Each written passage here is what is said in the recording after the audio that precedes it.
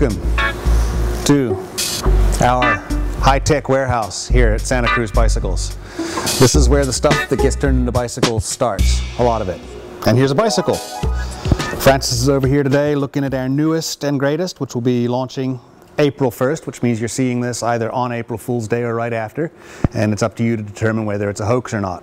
Um, it has been talked about a bit. It has been ballyhooed and bantered around, and I'm amazed that we've kept a lid on it for as long as we have. This is the Tallboy LT.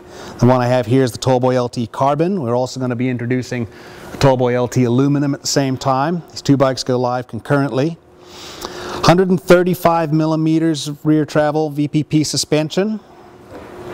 Carbon fiber frame on this one. Tapered head tube. ISCG mounts down here on the bottom bracket. The carbon one is our first foray into a 142 by 12 rear axle as well. Our carbon fiber process is pretty unique. We use a one-piece layup for the front triangle, which means that this whole front triangle, including the shock mounts, the ISCG tabs, lower link mount, these are all molded in at the same time together. There aren't any aluminum inserts, there aren't any little pieces or ears that are wrapped on afterwards. And the tubes themselves, if you, kind of, if you want to call them tubes, it's actually a monocoque structure, are one single carbon fiber structure. So it's not like you have a tube, some reinforcing material on another tube. The good thing about doing things like this as a one piece structure is you can really optimize the efficiency of your material use. You can put the material where you need it, so you can get a lot of strength up and around the usual places where people are afraid of bikes breaking. Underneath the down tube, you can put more material. Uh, on top side of the down tube, you can put less. And you end up being able to create a stronger, stiffer structure with less material. That said, frame weight on this carbon fiber bike, 5.3 pounds. Again, it's 135 millimeter travel bike 5.3 pound frame weight with shock. Uh, as a basis of comparison, with the Blur TRC, our 26 inch wheel bike, weighs right around five pounds. Our existing Tallboy with four inches of travel, 100 mil travel, is right around five pounds.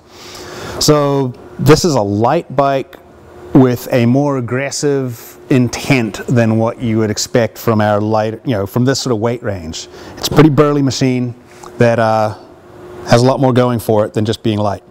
The uh, intent of this bike is it's really more moving into the all mountain terrain. Um, the the 100 mil travel tallboy is a really versatile bike. It can do anything from cross country racing to, you know, I know some people are even doing Super D events on them. Uh, ben Cathro just was racing one of the first rounds of Super D Enduro over in Scotland.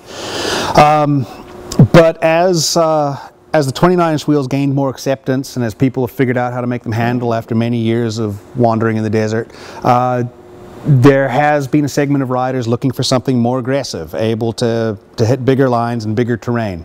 Uh, if this was to have a 26 inch wheel counterpart, this would sit kind of conceptually between our Blur LT and the Nomad as the 26 inch wheel alternatives. It's, it's able to handle a fair bit of abuse. 135 millimeters travel with this size wheel creates a bike that can handle a whole lot of stuff. Where our media camp was out in Sedona and we were launching these things off of cliffs, uh, bringing back the whole notion of hucking to flat. Okay, that part's the April Fool's part. No one was hucking to flat. But you can, you can hit things a lot harder on this than you could on the regular Tallboy. Uh, it's able to withstand that sort of riding. We spec it around 140 millimeter fork. You could probably put as long a fork as you want on there, but it handles really beautifully at this, at this travel. Uh, with this fork spec, Fox 34 here, you're talking 69 and a half degree head angle. Uh, that's a degree and a half slacker than the current Tallboy, which is, you know, compared to 26 inch numbers, that doesn't seem that slack, but that's pretty raked out for this size and stability of wheel. It's a good big, big terrain bike. Downieville will be destroyed by these. Yeah, what else can we talk about? VPP suspension. We'll go through it again because we need to. If you take a look here, the characteristics that define VPP suspension are two short, stiff little links. Upper link, lower link. They rotate counter to each other. This one rotates this way, this one rotates this way. What that allows us to do, aside from having an incredibly stiff and solid rear triangle, which doesn't have any flex to it, and stiff little links that don't have any flex to them, is we can configure our shock rate characteristics however we want them to be. Generally, and with this bike, we've got a slight falling rate at the beginning of travel that then turns into a slight rising rate at the end of travel. It gives you really good initial small bump compliance and then gives you a good ramp up as you come towards full suspension to, or full travel to prevent your bottom out. The, uh, the suspension itself rides on angular contact bearings throughout. Um, angular contact bearings are great. You can preload them just enough to take, make sure there's no slop in them. And then the bolts are these 15 millimeter diameter aluminum axles that thread through into the frame on the other side and then have a little conical washer, a locking collet head we call it, that you screw in here and it expands the top of the bolt and locks it in on this side. So you end up with a really stiff, uh, easily maintainable long life structure or bearing, bearing surface that lasts forever, works smoothly, and doesn't need a whole lot of maintenance. When it does need maintenance, it's easy to get to. Carbon fiber. The aluminum one, right here. Francis, look at it. Look at it. There it is. Everything about this is the same as the carbon fiber bike, except for the fact that it uh, weighs a little bit more because it's made out of aluminum and costs quite a bit less. Retail price for this frame and shock is going to be $18.99 for frame and shock. Uh, for this one, carbon fiber, I think we're talking $26.99. You may have to edit that out.